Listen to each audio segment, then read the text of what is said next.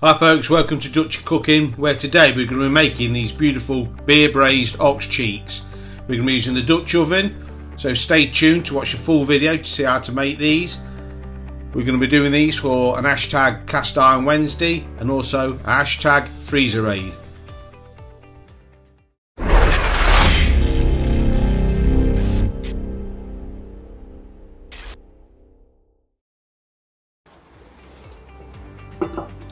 So I'm not sure what happened to the first part of this video. Uh, I'm sure I filmed it, but it seems to have got lost. So we'll just have a recap. I've just got some uh, ox cheek in a bowl, and they've been soaking for 24 hours in a nice ale.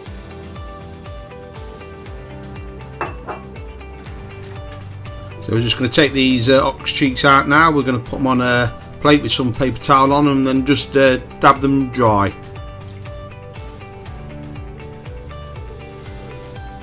We're going to retain this uh, marinade liquid.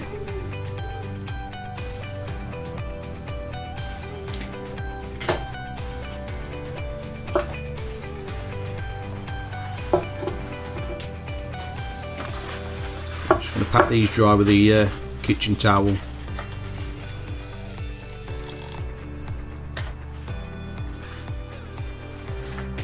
Joy stoves up to temperature. We're going to get a small uh, Dutch oven on, get it warmed up. To this we're just going to add a splash of oil.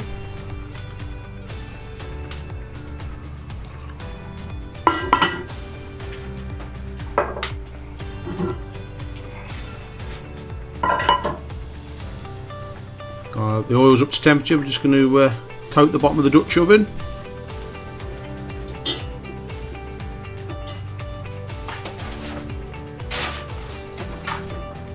And then in with the uh, ox cheeks. I don't want to crowd the pants. I'm just going to do the uh, two small ones first.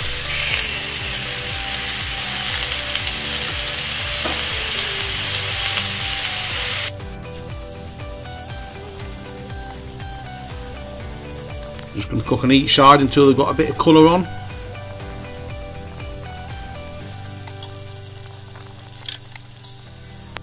Move these, get the big one in.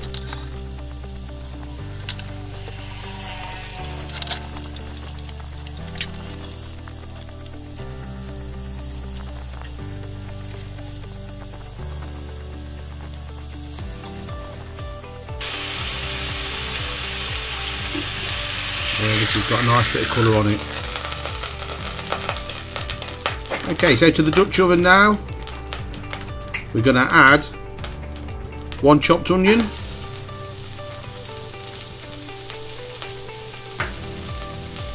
one chopped carrot,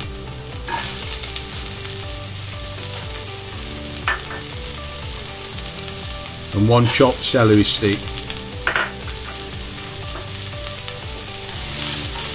Just going to uh, brown these off for a couple of minutes.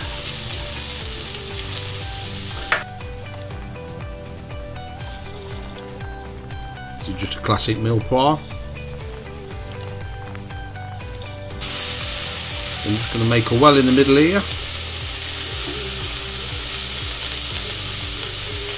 I'm going to add two chopped garlic cloves. I'm just going to cook this out for a couple of minutes.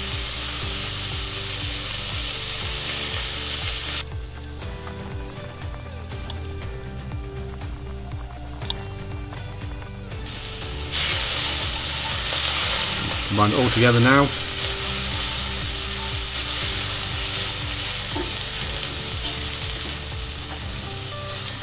Add our uh, ox cheeks back in. Let's get these juices.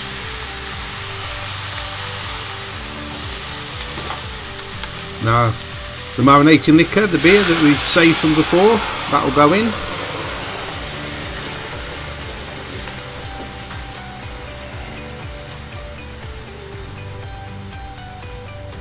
And then we're going to add a second bottle of beer to make sure these cheeks are covered.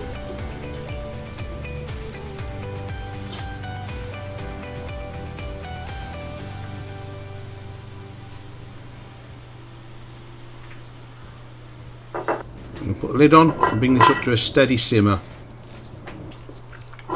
Once up to this simmer now, we're just going to uh, spoon some of these impurities off the top.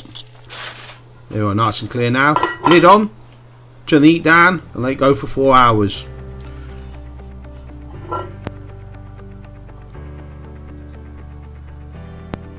So four hours later, nice tender ox cheek. I've just simply strained the cooking uh, liquor off, reduced it, added a stick of butter and made a nice shiny gravy.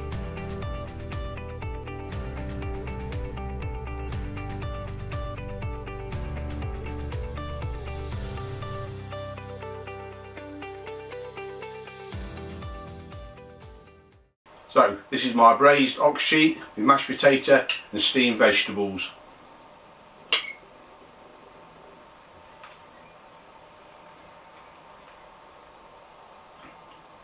You see this ox cheek is just pull apart, this is just a fork, it's just so tender.